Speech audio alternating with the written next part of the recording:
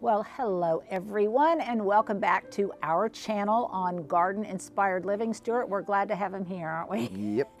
And if you are a new follower and you haven't subscribed, well, consider doing so. If you've been viewing for a while, give us a thumbs up and let us know that you're liking the content that we're putting out. And of course, share it with others if you think they might like it as well. Um, it's been really, really busy around here as I continue to try to get moved in and get things whipped into shape.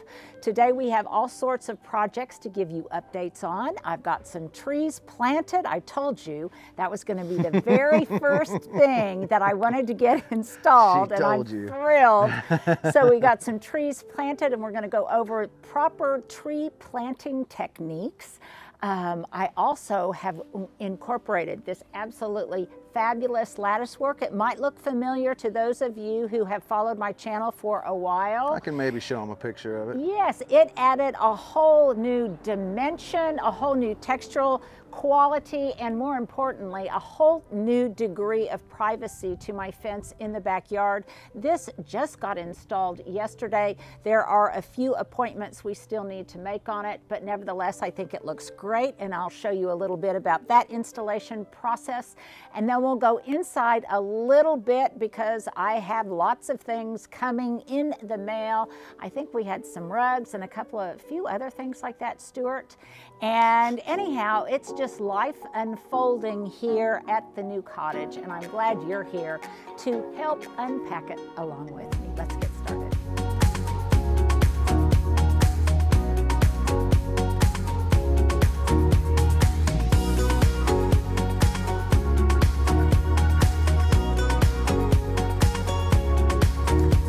I always have a question of the day for you, but today I'm going to answer a question that so many of you have had about this door that is on the side of my house. Now, I misspoke last time and I said this faced west. Well, my brain was getting ahead of my mouth.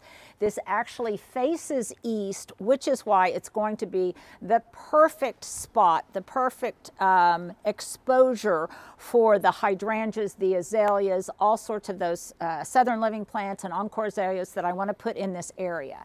But a number of you have astutely noticed that there is a door here.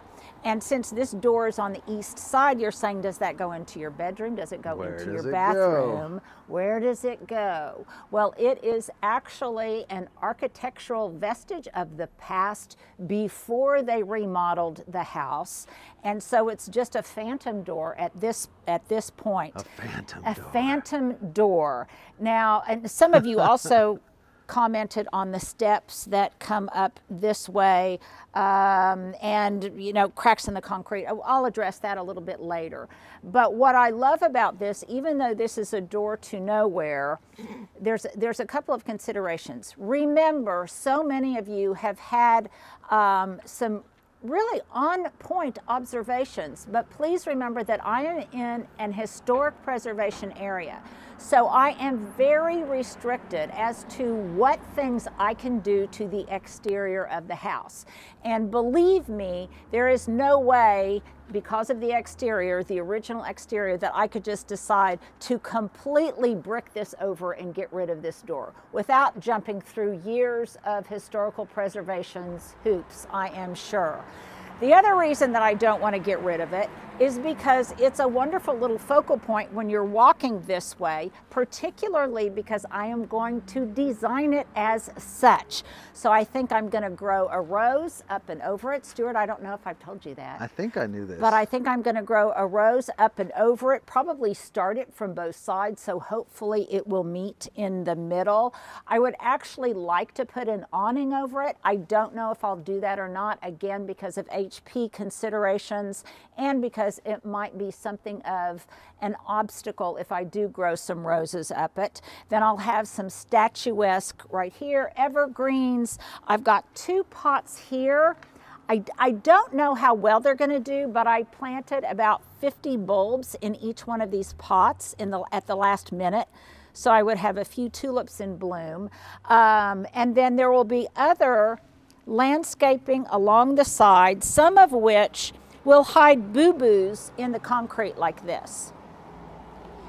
And then originally I had talked about planting some maples down here. When you say here, where are you pointing? I am pointing At the street? Yeah, at the street, Okay. the sidewalk that comes up these steps. Make sure I can tell, that's all. Yeah. And originally maples, and then I thought through that some more, uh, conferred with oh, just a number of different people, and I decided on two fruitless ginkgos that will be there and maybe won't have a root structure that can really um, upend the sidewalk. So that's a consideration right here. And this is not a passageway that gets used very often. So the fact that these steps are steep doesn't bother me a bit. And I love the fact that it will be a focal point up this way and it will be a wonderful little vignette in the area. Something else that I want to comment on a little bit as we walk around to the tree, Stuart.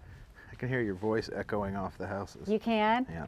Um, so many of you have commented on my my my concrete windowsills, and I apparently because in some instances the contrast is really high, it looks as if they are bright white, and you're wondering why I don't paint them a different color. Well, they're concrete, and they're part of the house, and I just can't do that. So as they age a little bit more, it may be the angle of the sun. They won't look quite quite so white, but I think, um, but they really, in real take care of life, they don't, they don't look so, um, they just don't look so Bright. contrasty and bright and white. Yeah, thank you, Stuart.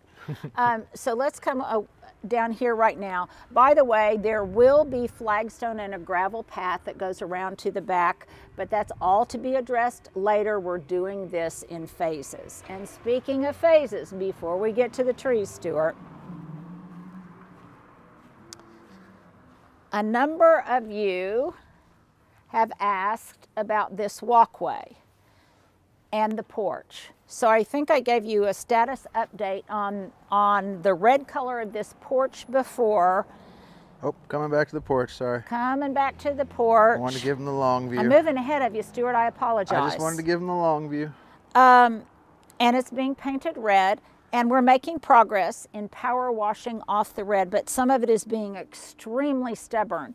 So we may have to sandblast off the remaining red or use maybe even some kind of chemical paint remover. I'm not really sure we'll stay as organic as we possibly can. I think I remember using, I don't remember what it's called, but on something I used, a real, an organic, really good paint It really remover. worked. Yeah. Okay, that's our question of the day for you guys, though. If you know of something, um, one of my friends was also telling me about a product, but I just haven't have not gotten to that. But I will. The other thing that really concerned a lot of you was the cracks in the walkway. And my thinking on this has really evolved over time. Um, and and it goes without saying that there is it's very expensive to put in a new landscape with you know with an irrigation system and trees and and as you well know it is not an inexpensive project so the expense of laying new concrete was a, a real consideration and i don't want it to stand out like a sore thumb and even though we'll try to match the color to the existing concrete on the sidewalk and the pathway, that's still a consideration because it's got to age. The other thing is that a lot of, of the side sections where it meets up against the turf, that can be obscured, particularly on the steps. That can be obscured with some plantings along the edge that will spill out. Hi. Just seeing what's happening. Good to see you, Janie. We're shooting a video. This is Janie Dupree that many of you have seen before on our channel. I know, aren't they great? Tell Bill hi. Okay. That was awesome. So if you haven't, go back in time and see. We did a garden video with my friend Janie, and We'll also put it at the end of and we'll put it at the end of this. There's perfect Um, timing. Yeah, perfect timing. uh, believe me, this has been a very busy corner. Everybody wants to know what's going on, and we've barely started. Um, so at, at, at any rate, I will have plantings that will cover up some of the boo-boos and the, the chipped concrete and such along the edges. And the other thing is, I thought it would be fun in these cracks to put in some new soil and to plant some like creeping thyme and some violas and some self-seeders. And because I am a person, as you well know, if you follow me any length of time, that I find beauty in imperfection. That's me. Uh, I like it. I like the but. I ultimately decided that it would be easier to do it now than to do it later. So this stretch here will be replaced. But it will be scored and everything, and I can do this along HP guidelines because it will be just the way it was. We're bringing it back to the original. And Stuart, remind me, I need to give you a shot. I found a picture of this house when the entire front was completely overgrown with shrubs. Well, if I if I can find it quickly What year enough, was that? we'll put it in the video. I just found that the other day. No, I mean, what year was the photo from? Uh, I'm not sure. Interesting. But over the year, you know, this house was built in 1900, so I'm sure it's A couple it's- years ago. Yeah, it's evolved, but there aren't necessarily a lot of pictures to way back when. All right, Um, trees. Okay, so trees, finally. I always, I, always, but Hey, it, I know you guys, it's good. so hard for me to answer all of your comments. So and I is how we want, do but it. I do want you to know that I am reading them, and this way I can collectively uh, answer your questions without ignoring you, but in one fell swoop. Now I have to tell you, we had a little break there. Because I had a big old piece of hair out of place, and Stuart told me about it, and I put it back. That's For all of you that you out there that worry about my hair, I have cowlicks. I have no control over them, and if I'm out in the wind, there's just not much we can do about it. That's just real life. Um, but the trees are installed. I think they're absolutely beautiful, and you know what, Stuart? I think we need to show everybody how Did y'all we know got Linda to this. was a professional videographer? yeah, yeah. Well, I don't know about that, but I did you're better take. than you give yourself credit for. I did take lots of footage of what went down when we got these installed. Two Nuttall Oaks here and a maple on the hill. Let's take a look at it.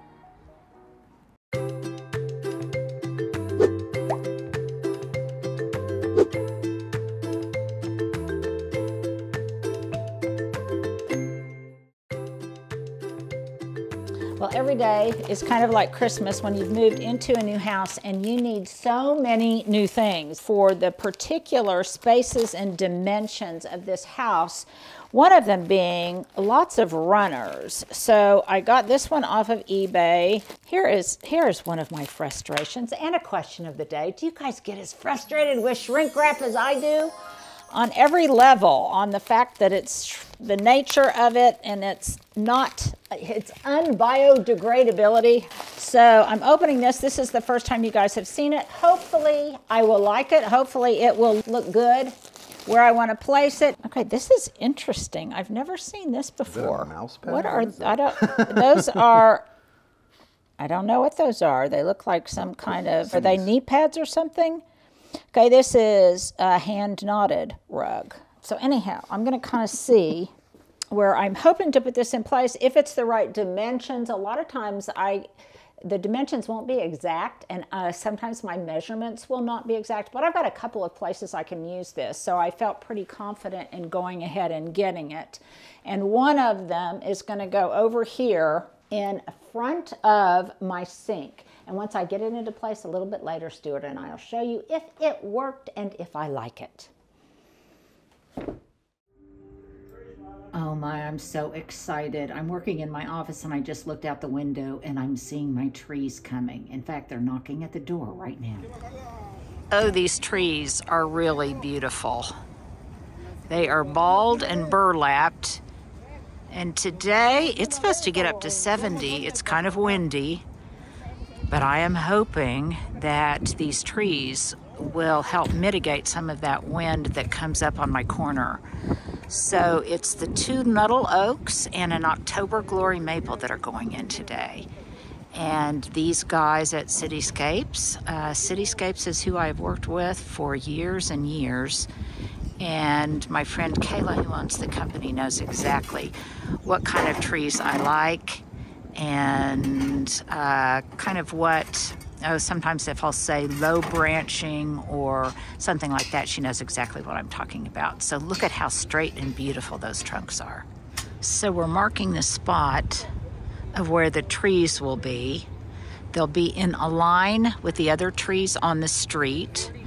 And one of the reasons that trees are no, or some streets are no longer lined all of with the same type of trees is because when you put all of your eggs in one basket, and then that basket gets sick or infected, like Dutch elm disease or something of that nature, then you not only lose one tree, but you lose the entire tree up and down the street because one tree will infect the other. Now, these are long lived recommended trees for Oklahoma. The two that we're putting here on either side of the walkway are Nuttall Oaks, uh, which is one of the trees that was growing at my other home on the driveway and they will make beautiful shade trees over time. They're going to be planted far enough away from the sidewalk and the street that they shouldn't disrupt with their roots. Um, we have gotten confirmation from everyone, utility companies, et cetera, et cetera, that it is all right for us to do this. And I'm hoping that, again, these will provide something of a windbreak in addition to being two sentinel trees that will frame the entrance to my house. And this is the very, these are the very first things that are being installed here. So I could not be more excited. Um, so we'll make sure to really prepare dig big holes, prepare the holes well, get them well watered. And we are doing this at a very good time, I'm hoping, because we've got an 80% chance of rain tomorrow. So hopefully this will get them nestled in. And then a little bit later, I'll probably come back with some transplant solution. So Kayla is making sure right now that they are both exactly equidistant. And she's taking measurements both from the sidewalk between the sidewalk and the street, and then also the distance from the entrance to my house and the distance to where the trees will be planted. So they're, they are literally marking the spots because I want as much symmetry as possible and as much replication of the, the cadence of the way the other trees on the street are planted. So I'm standing at the corner now and you can see how beautiful it will look. At one time, there were trees in that spot, and over time, I don't know what happened, but they succumbed and they died. So we are basically replacing trees that were there historically in the past. And it really is, is very obvious, I think, when you walk up and down this block. This is on a corner that there seems to be a big void there. You could tell that there there needed to be trees there and that there probably once were. So this will finish the alley or the line of trees that are along the street and I think it will not only enhance my home but it will really enhance and beautify the street itself. So I'm not mic'd up, but hopefully it's not too windy out here. I'm here with my friend Kayla that I you have seen before. I've worked with Kayla, and she was the one who sourced these Nuttall Oaks and the October Glory maple for me. So, Kayla, talk to me a little bit about where these what the provenance was of these trees. These are Oklahoma grown? Oklahoma grown, um, central Oklahoma. Okay. Um, from a tree farm in Lexington, Oklahoma. Um, they were dug uh, ball and burlapped for us. Okay. Um, right before the hard freeze, and then they heeled them in to keep them from freezing out. Okay. Um, so Explain heeled in for people that don't know. Uh, well, for a lack of better words, they after they got it in the burlap for us, we needed some insulation to keep it from freezing out. Mm -hmm. um, so they just took big piles of uh, dirt mulch kind of mixture and poured it on top of the root ball and uh, kept insulation on it yep. so that we could get through the hard freeze. Yeah, because it was a pretty, pretty bad freeze. And actually, I'll insert an image here because I did the same thing with some boxwoods Correct. that I'm tra- that I am um, going to be transplanting in the past because they do need insulation, but it's kind of like fake planting. Yes. Like temporary Above planting. planting. Yes. and now, because it is windy here on this corner and in Oklahoma in general, you're going to be staking these trees. Correct. It'll get three stakes. Um, we prefer three inch round wood stakes Okay. over the metal. Okay. Um, aesthetics is one reason. Uh huh. Uh huh. And uh, the, the other reason is uh, metal is real hard to get out of the ground. Yep. And um, when it's time to remove them, and the wood stakes will actually deteriorate so that we don't Over leave time. an air pocket down here next to the root ball that will allow air to get in it after we remove it, causing air Yes. to get too much air to get to the root. Right. And the roots then grow into a void. Correct. And so you don't want that to happen. So that is that is also good to know. Um, and then we've got the guys are over here working right now on the maple. And we carefully planned this timing, did we not? Uh, yes. Rescheduled what three times? We've re yes, much to my dismay. But you know, typically in Oklahoma, I always like to plant in the trees in the fall or in the winter so that they get their root systems established before the heat comes in. And winter planting tends to work well for us. Correct. And most people don't understand, but it's not as dangerous to the tree if you plant it while it's dormant. Um, you know, it, it gives it time to get settled. Because Yes. through the digging process, that tree is going to settle a little bit. And when those roots do start coming out in the spring and it starts budding and growing, Mm-hmm. those roots have a place to grow um, where they're not too deep. Where they're not too deep. And we'll, we'll talk a little bit more about that once we get these trees into position. But the other thing where our, our timing I think was crucial is it's supposed to rain tomorrow. Absolutely. So if it rains tomorrow and it's a good soaking rain, which hopefully it will be, that will nestle. That's right. that will It'll nestle. Allow them to go ahead and start kind of settling yes. yes. into place right where they're going to Yeah. And putting out root growth, not top growth. That's Put right. all its energy into establishing itself. Correct. in the root zones. And they are being as careful as they can with the root ball because we in no way want to disrupt the root ball if possible. Precious, precious root ball. Okay. Kayla, I will talk to you again a little bit later as we're ready to actually get them in place and in the ground. Okay. Now, truth be told, this part always makes me really nervous and requires a lot of strength and a very strong dolly.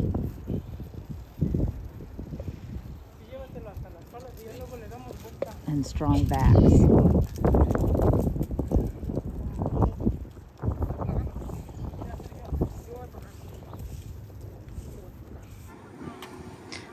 Well, it takes a lot of shoveling, a lot of strength, and a lot of manpower, not to mention some really good tunes to keep you entertained to plant a tree so that the hole is wide enough and deep enough to accommodate the root ball.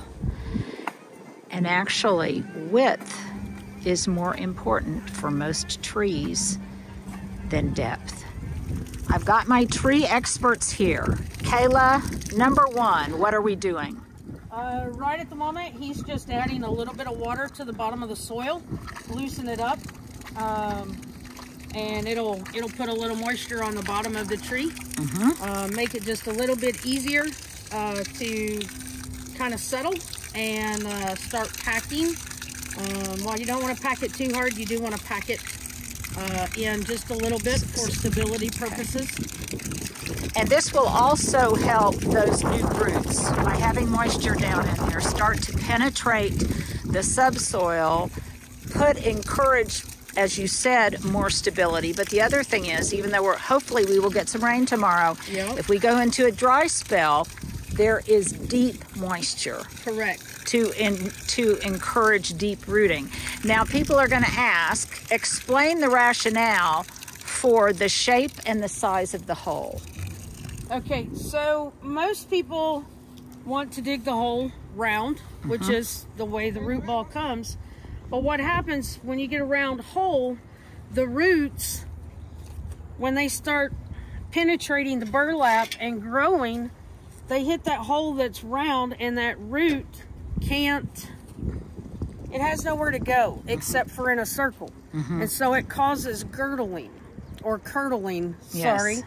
Um, and typically you will see trees wrap in two or three years and they start dying back and you don't know why. Yeah, and I can speak from experience. That happened unbeknownst to me because it was covered up with some liriope and it started to girdle to my caddo maple. And. I then had to go back and take corrective root pruning measures.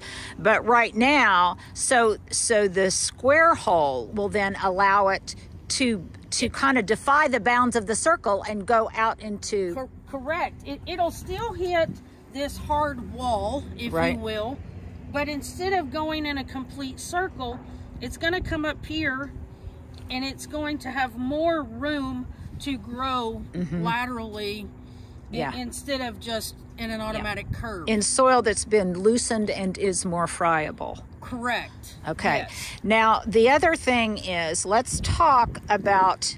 I know the recommendation is to not add soil not amendments add soil in our amendments. Oklahoma clay.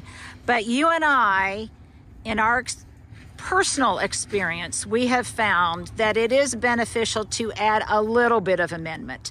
So, describe to me what we're doing here. Okay, so this is clay that has come out of the hole. We've dug right. it out. Um, when you start backfilling with just this, you're not ever going to get it to mesh, right? when you're packing it. So it's going to leave air pockets because when that goes in the hole, it's not going to go in like that. It's just going to go in with a shovel and it leaves an air pocket. Yeah. As you water it, that air pocket gets bigger, right? Mm-hmm. Allowing too much air to the roots, causing other issues down so the road. The root is growing into just an empty hole. Correct. Okay. Right. So we took the the native soil out of the hole and mixed it in this form of the native soil with just a cottonburr compost. Okay. So now you've got good, dark, rich soil, and we don't have those big chunks anymore. Yeah. We've got smaller, manageable chunks that as you are backfilling and packing, two things are happening you can pack it and get the air pockets out. And when I say pack it, we're not packing it real hard. Right. We just want a nice remove the air pockets. Correct. Okay. And then as we're watering it as the tree comes in, the water can penetrate this, break it down, fill those voids, those air pocket mm -hmm. voids with this, and yeah. now we've got a good, nice, stable bed for our tree and it helps us stabilize that tree to where maybe we don't have to put stakes on it. Yeah, and feed the soil. Though we are going to put stakes on it because this is a windy corner. Correct. But the other thing to point out is we're not giving these trees just a diet of the good stuff, you know, and and spoiling it. And then when it when it reaches the confines of the big hole, all of a sudden it's like trying to root, put out roots through concrete. We are giving it just a little bit of help and oxygenating that soil a little bit better and creating Correct. more friability and more air pockets for them. So this hole. And, and one more thing about this. Uh, okay. Before we get too too far away from it. A, a brand new tree going in the ground doesn't need a lot of immediate fertilizer because it's not actively growing right now, right? Right. The roots are not. This is going to slowly break down and become a natural fertilizer. In an organic way. Yes, correct. And sometimes you and I have also put just lots of leaf litter and things like that yes. in the hole to help out. Now, let's talk a little bit about the rule of thumb for the size of the hole. So this is what, one and a half times? Okay, so this is one and a half times wide. Mm-hmm based on the measurement off of the root ball. The root ball measurement height from the ground up, we're, uh, we're at 21 inches okay. on the root ball. Our hole is approximately 18 inches. Okay. And the reason being? When, when you're putting in a tree, especially of this size, we're putting it on virgin soil. And virgin clay soil and virgin with very poor soil, drainage. Yes. Uh, that tree, the weight of the tree is going to cause our soil to compact. Mm-hmm. And when it compacts, we need to make sure that we are not above our root line. So the flare will actually not be buried. The root flare of those top roots will be at the very surface. Correct. Okay. And then over the course of, you know, time, six months, a year, depending on water, you know, Mm-hmm. content in the soil, it will finish out right at the level we want, Mm-hmm. preserving the very base of the trunk so Mm-hmm. that it doesn't get too wet and rot out. Okay, let's talk a little bit about the size of this tree, and and the and these are in terms of what are called calipers, Calipers. which is the diameter of the trunk. Yep. So approximately six inches up, it would measure three inches around. Okay, so this is a three-inch caliper tree, which is a pretty large tree, Correct. and um, and and the reason for me is I, I want a tree that won't look too small in comparison to the others. And because I'm not getting any younger so I want a little bit more maturity to my tree. And also I want more of an instant windbreak. So so share a little bit about cost information. I know it depends on so many different A factors lot of a lot of different factors, um, but the the cost of this tree to purchase it, um, in in this size, getting a tree as tall as what we are, um, you know, tax and all, we're under three hundred dollars to purchase the tree. okay and that then you pay for installation on top of that if you're not the one Correct. Yes. That's right. You've got installation, you've got a little bit for the soil amendments, um, but bang for the buck, health of the the plant itself, the Mm-hmm. larger it can be when it goes in, the better success you're going to Yeah. have coming out of it. Yeah, yeah. For if you do good soil prep, other people would say the smaller the tree, the better because it's easier to prep for a small, Easier- smaller tree. easier to prep. Yep. So, and these are beautiful Nuttall oaks, and I always it's important to to spec exactly what you want. And I told you I wanted two trees that were as symmetrical as possible in terms of their profile, their height, their everything. And that's very important if you're working with a landscaper to specify exactly what you want, if not going out and picking them up yourselves. So I'm any any other tips that we need to share? We're obviously we are going to stake them. We're going to give them, it's supposed to rain tomorrow. Correct. But if we go into a dry spell, we will put some gator bags or donuts we're, or we're using donuts. donuts. Okay. And uh, I've got them. We'll put them down after the Okay. rain. We want Mother Nature to do, her, job. yeah, do her job. Now, honestly, obviously, I don't like the look of the stakes or of the gator bags, and hopefully. Mother Nature will benefit us with lots of moisture, but you do what you need to do to get things established Correct. and your due diligence. And this is not unlike how they do it in some in some parks or wherever where they're planting trees of this size. Right. Okay, and then la- Another another thing that is pretty critical to our new trees is we don't want to trim them a whole lot when they're brand new. okay, The first year we don't want to hardly trim on them at all. Um, if we have a broken branch during travel or planting, obviously we want to clean that off. But a lot of people you'll see come in and they'll they'll cut this stuff off. We don't want to do that in the first year if we don't have to because it'll stress the tree. and we want to we want to leave its ability to photosynthesize and produce as much food as possible while it's getting established. Boy, look at those beautiful clouds on the other side. The sky is just beautiful, isn't it? This is a perfect kind of day to plant. Yeah, it really is. So then lastly, let's talk about the root ball itself. There's some uh, vinyl twine on it or Yep. rope that obviously will come off. Yep, holds the wire cage in place. And we've seen so many examples of trees that have died because too much of that of that roping or this you want to protect the root ball but you, if you leave too much of the structure to protect the root ball in place then that can kill ca- and cause problems for the tree down the line so you have to be very careful about that Right. So we're we're gonna cut the bottom of the cage off Okay. before it goes in the hole. okay But we're gonna leave the rest of the cage on there. Um, obviously, this is not a small tree that we're just gonna be able to pick up and set in a hole. Uh-huh. We're gonna have to use the tree to help us get the tree in the hole. Right. Right.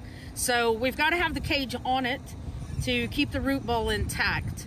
Uh, but once we get it set, it is exactly where we need it to be. Mm -hmm. We'll cut the metal cage off. The burlap is going to stay on it. Because it will break down over time. Correct, and become organic matter. But then this nylon rope will be cut off of it. The top of the burlap will be laid back in the hole. And uh, then we finish back filling it with. So, so a properly planted tree truly is a thing of beauty and, and it is a good investment to take the time and the effort to it's you know it's that that old adage you put a one dollar plant in a ten dollar hole and it's more about the hole sometimes and than it is about the specimen itself. So gentlemen i thank you for helping me today and we'll be back out later and take later and take a look at what they look like when they're in position. The again these are two Nuttall oaks a recommended plant tree I believe recommended for Oklahoma. Good long-lived yes. investment tree provide good shade. And then we have another maple to plant later. So we'll be back with an update. So one thing that's always crucially important to me and Kayla knows this anytime that these guys are planting for me, I always like to see exactly how they're sited so that the pretty part is where is facing in the direction that I want the pretty part to be and also is as symmetrical to the other tree in terms of its profile. So that's really important to me. So these guys know that it, it's we all kind of do an assessment and make sure that it is located. And sometimes that requires making some adjustments on really heavy specimens like this. But for the long term, again, it is time well spent to do your due diligence at the beginning.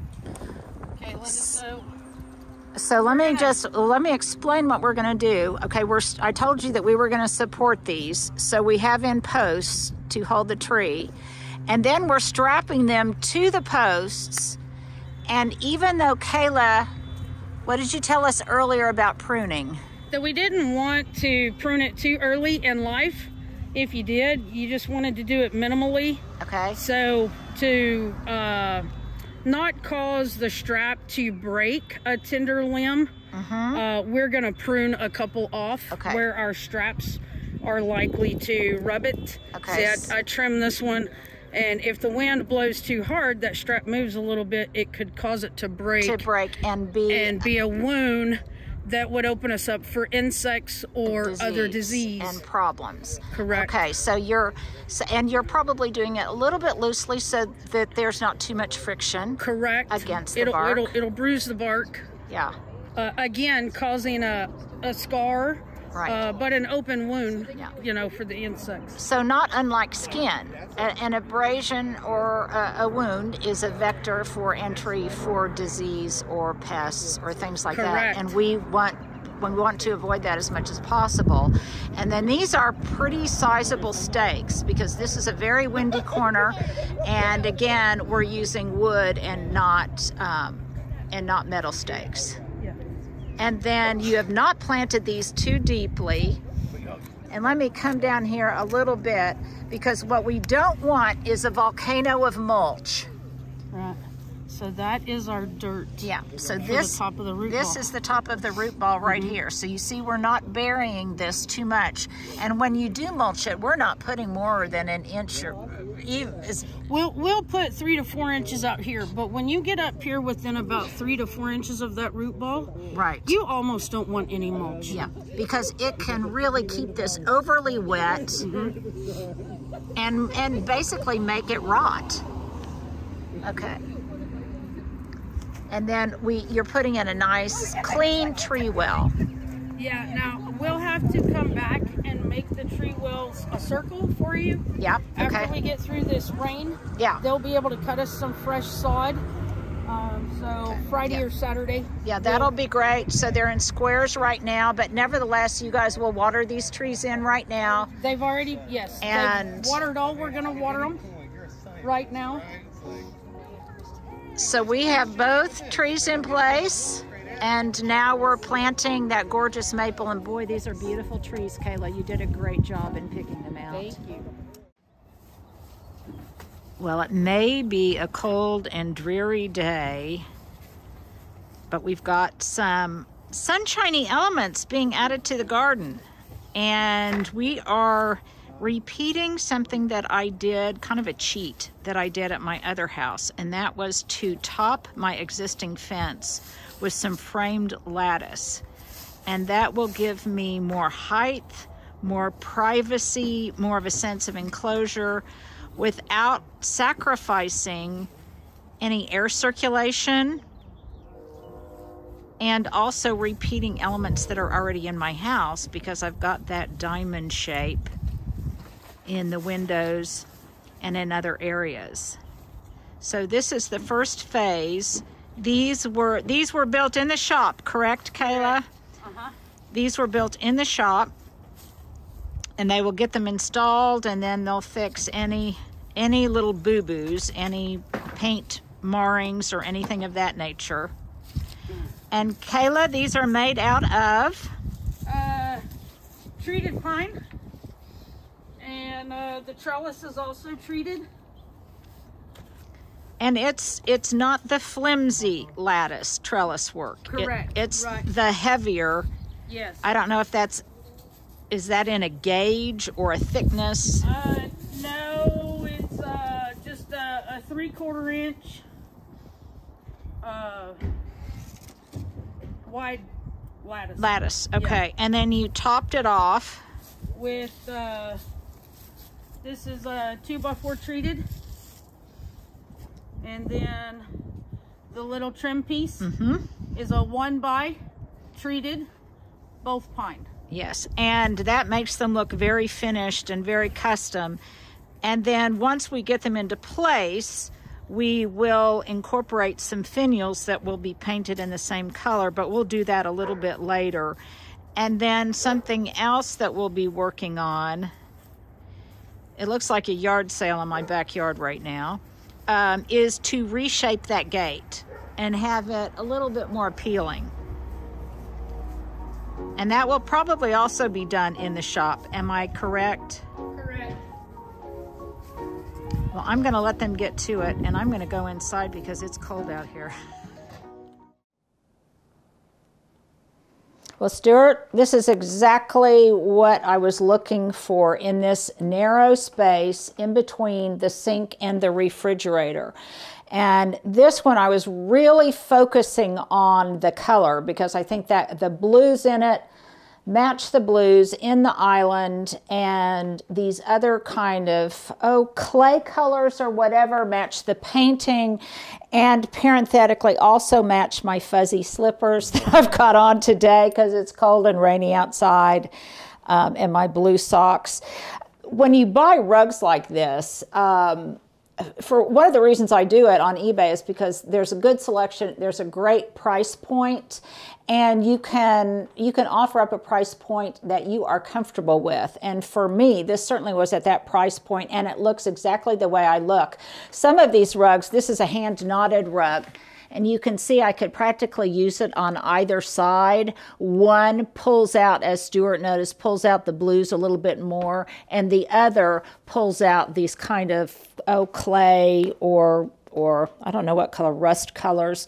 I also like it because it's thin, it doesn't have a thick pile. I will put some kind of, of floor protector underneath it, a liner underneath it.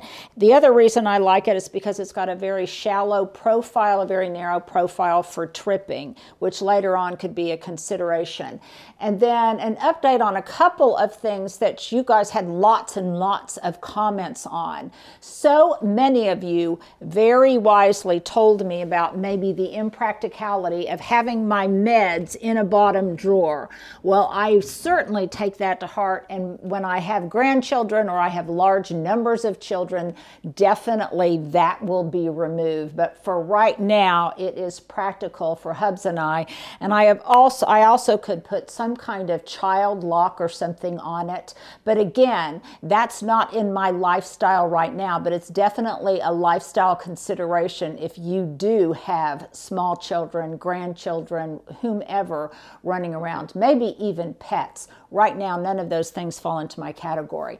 The second thing that I want to comment on a little bit is many of you said, well, why don't you put your coffee station here? So when you get a wide perspective of the kitchen when you first walk in, I think intuitively, especially for coffee drinkers, the first place you might come is here because it's in a primary location. And actually, that's where I set up my coffee station first for a number of different reasons, particular to Hubs and myself, this wasn't a good location for us. The other reason is from an entertaining entertaining standpoint, I think I told you this was kind of like my my entertaining center, entertaining headquarters. This will go back into the great room for when we entertain and is also easy access to the front room. So for us, it made more sense for it to be kind of a cocktail station and to open wine bottles and such than a coffee station. But primarily my motivation for moving it was because the coffee pot is probably one of the only appliances that I leave out because we use it so frequently throughout the course of the day. To have an expensive look to your kitchen, that's one of the tips that they give you is don't keep your appliances out, put them in hiding and only bring them out when you use them. But my coffee pot, it's out 24/7 is is that isn't it, Stuart? It it's hard for me to say that because you guys are always coming in and out, and invariably you want a hot drink. Maybe one 10 so, minutes ago. So when I first walk in, I don't particularly want to see that coffee pot, empty coffee pods, the detritus from making coffee. And so because of that, I didn't want that to be the first thing you saw and a focal point upon entry to my kitchen. I'd much rather them see this beautiful blue stemware and this beautiful blue crystalware. So I think it makes a much more beautiful presentation. A number of you also commented, couldn't I just put this little picture on an easel? and yes, and I have an easel somewhere that I'm going to try. I liked that idea. I had thought about it and then forgot about it again. So thank you for that, that reminder. Something else that I want to do over here, I noticed in this space, is even though I have ambient lighting, it's not necessarily task lighting, but I have ambient lighting throughout my kitchen in the form of some small lamps um, over the cutting boards, etc. This area kind of absorbs light, doesn't it, Stuart? Yeah.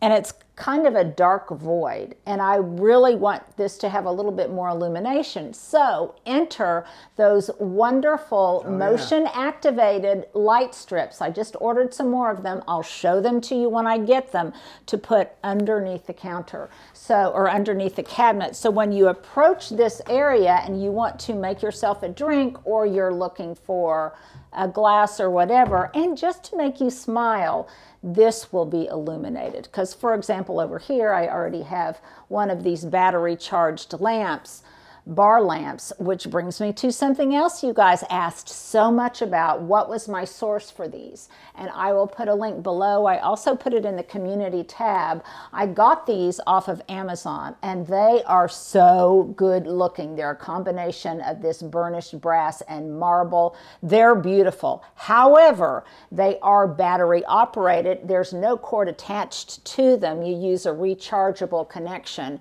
to get them um, activated again. And I have to say that in that in, in that feature of them, I'm disappointed. They really don't hold their charge long enough, I think, to purchase. But if you want them just for short-term effect and for just the sheer good looks of them, then you might want to order them, and I will put a link below. I don't know that if across the board other varieties might have a battery that lasted longer. This is short-lived but it is nice and it's got different degrees of illumination. So it may be one of those things that you only illuminate for special occasions if you don't want to be a slave to charging. Maybe just keep it there and just turn it on when you. Yeah, just turn turn it on, or when you entertain, or something. Kind of like you maybe use it as you would a candlestick. You kind of light it uh, for the short term when you're going to be there to tend it. So those are just a couple of updates on some of the things that you guys commented about a lot, and my thinking behind them. And we'll do a few more follow ups on those types of observations on your part later on. Stuart, I'm so excited. Look at that. Can you see the so. buds starting to emerge off of this October Glory maple?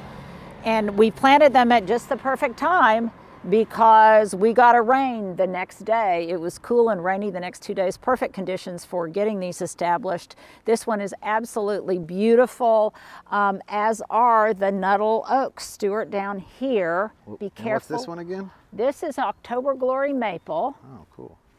And then these down here are Nuttall Oaks. And I think they look absolutely beautiful. That one does it look like it's leaning a little bit to Not you? so much from my angle, but okay, maybe well, from a different We'll make one. sure while we still have a little bit of, of leeway to move them just a tiny bit to make sure that they're absolutely straight. Now, do I like these big old posts that are on here? No, I don't. But we explain yeah we explained why and they're necessary and this is this is windy in it's windy in oklahoma in general and it's windy in this spot in particular so definitely definitely we we want to make sure they're secured and let's see do we have any buds coming out on this yet not quite as obvious as on the other Stuart, but a little bit. So hard. There we go. Well, I had it.